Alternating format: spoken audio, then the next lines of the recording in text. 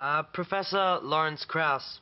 I'm a Year 8 student and I would love to pursue a career in the field of theoretical physics or cosmology. I'm also a devout Catholic and have a very strong faith.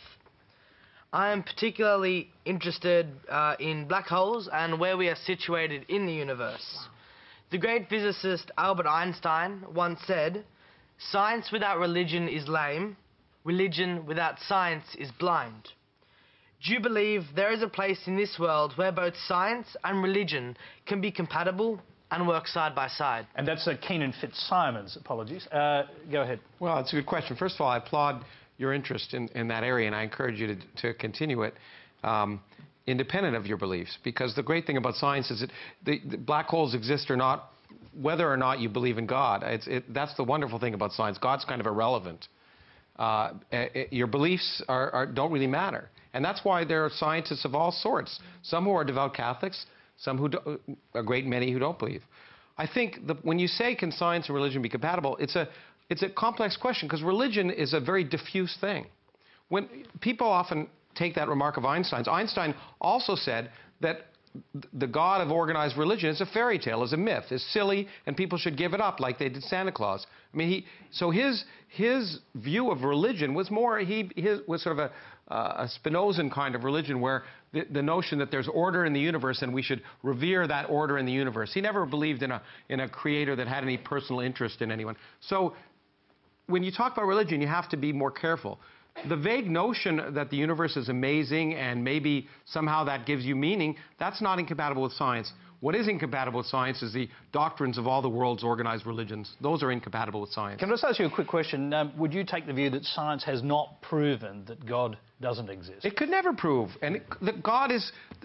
Science can never disprove God. Because, you know, I could say that God created us here 12 seconds ago.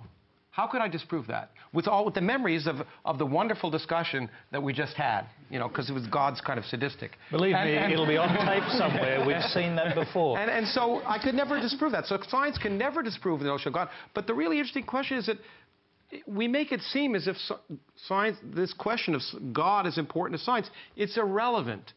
Most scientists don't even think about God enough to know if they're atheists when you when you go in the laboratory, you're working in the laboratory, and when devoutly Christian or what, or Jewish or whatever, and I know have many friends who are deeply religious. When they go in the laboratory, God goes out the window. So your religious beliefs should be separate from your interest in science. And, but it is disingenuous, and although it offends people, it's disingenuous to argue that the doctrines of the world organized religions are consistent with science because they're not. All right. Um, and Ali, what do you think about this? Uh, talking about science and black holes and stuff hurts my head. um, we shall talk later. Okay. Do, do, do, you believe? Do you believe in a creator? Let's put it that way. I I believe in a creator, but that's my personal belief, and I believe that belief is very personal.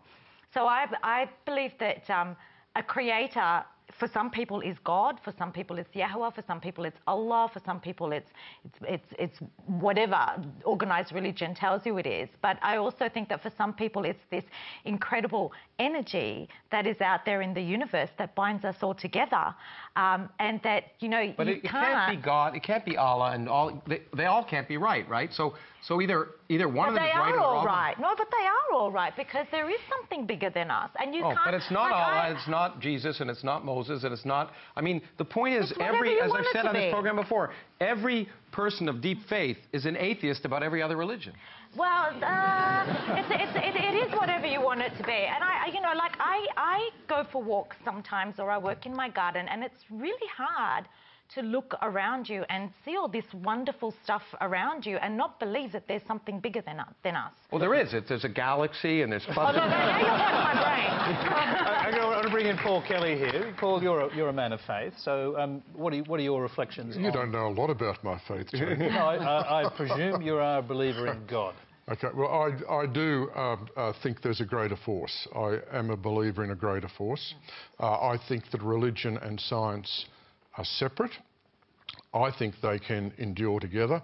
I agree completely that when a scientist goes into the laboratory, all he's interested in is science, not religion. I understand that uh, completely. But I think the two are very different domains. Uh, one is the domain of reason, the other is the domain of faith, and I don't think there's anything inherently incompatible between them. Tim Wilson. Well, I don't broadly disagree with um, what Paul just said. The key thing I would add, though, is that when you get to the frontiers of science, and you see this in discussions around artificial intelligence and issues around genetics and, and innovation, uh, that morality, which often comes from religion, can inform people's perspectives about what's well, right or I'm ethical I'm always amazed when people say morality comes from religion. I think most people's morality comes from rationality. They claim it comes from religion, and that's the real problem. Religion has usurped this notion that somehow it has a, a, monopoly on morality. If you didn't believe in God, you wouldn't go out and kill your neighbor the next day. Your, that comes from a sense of rationality and empathy with others. It doesn't come from religion, and, and people claim it does, and people often say they're religious just because they think if they say they're not, people will think they're bad people, and that's the real problem today. I said can come yeah. from religion. Mm-hmm. Morality has different components Is to that, it, uh, and people have ethics and moral dimensions which don't come from well, religion. The, the Old but Testament is one of the most immoral books ever written. The key point is when yeah. you get to the frontiers of science, issues around religion can inform how people approach the exploration. And that is always a, a, a tension because being somebody who isn't a faith, uh, I'm always in favour of seeing how far we can take scientific prog progress. I accept that there are limits and we have to assess and make proper judgment calls about making sure we're not make, taking so too much when risk. religion says, say, being gay is evil, and science can show there's, not, there's no empirical basis for that, you say there's no inconsistency?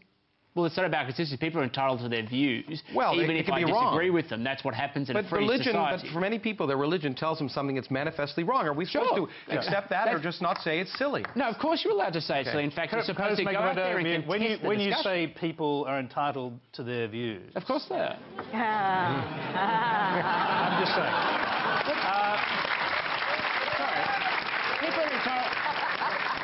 That is, once again, Tony Jones, you have used this platform to make a snide remark and aside rather than actually addressing the fundamental issue. I didn't even, hang, I didn't hang finish on, my you sentence. People, you're, you're, assuming what I was going to say. People are entitled to, to their views. Whether the national broadcaster gives it a platform right. is entirely different okay. No, issue. people are entitled to reviews, but the whole point is we're entitled to find their views ridiculous. Of and course what amazes we are. me, no, but what amazes me is is that in in the, our society we're entitled to attack politicians, we're entitled to make fun of sex, we're entitled to make fun of everything else. But the minute you suggest that the views of of the Pope are absolutely silly, suddenly you're viewed as strident and, and, and, inappropriate. And the point is, there should be nothing that's sacred. Everything should be open to debate, including religion.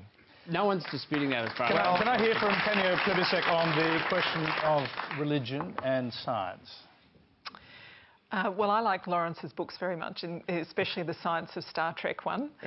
um, I guess I'm almost the exact opposite to each of, well, the two of you. Uh, it, I don't think that there's a life after death. I don't think there's a heaven or hell. Um, but uh, I believe deeply and profoundly in some of the lessons that uh, Lawrence says that it's not religion, it's morality. But religion is a really good way of um, describing and telling stories to people. And um, sometimes good, sometimes not so good. Would you no, agree? no, that's true. It, Yeah. it, it can be quite damaging too. Yeah. I accept that. But um, you know, I, I went to church every Sunday as a kid, and the things that sunk in for me were judge not lest ye be judged.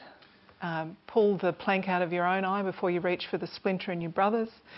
Um, uh, the story of the Good Samaritan, Sir Frederick Ozanam saying that uh, charity is pouring oil on the wounds of the traveller, um, but justice is preventing the attack in the first place. Um, actually, uh, sitting there for an hour a week and thinking through the way you want to live your life is um, perhaps a bit of a luxury in a busy modern world. I, I agree completely with what you're saying, but the question is, does it? I think we, it would be great to sit and have, uh, uh, you know, every Sunday talk about quantum mechanics too. But Yeah. but uh, I would do that with you, Lawrence. In fact, I it would may do be that more useful. But I think what you've illustrated is, is a really key point. Many people who call themselves religious one way or another, what they do is they pick and choose the things that appeal to them, and they and they throw out the rest. And most of the rest is the real doctrine. You know, most of them don't believe when you eat a wafer that it turns into the body of Christ, but they are but but they like some of the things they read. So most people really aren't really Christians. What they are is they like some of the things they read in the Bible, and, and they identify with that, and it makes it and it makes them more acceptable in the rest of society to identify with that. Okay. I think uh, actually, can I just so- make yes, a point yes, you about can. this? Go ahead. Um, I, I think that that actually might be a bit of a difference between American society and Australian society. Could I, be. I don't think you get Well, judged for here. example, um, if you were in American society, you wouldn't have said what you said earlier about being a non-believer and expect to become a leader of the country. Well, It's, it's absolutely true. It's, I was so impressed with you saying that uh, it, because, in true, in the United States, uh, you know, there's been a study in Americans that it, being atheist is is the is viewed on the level of being a rapist. It's the same thing. Um, well, that's a good time to move us. Uh, the next question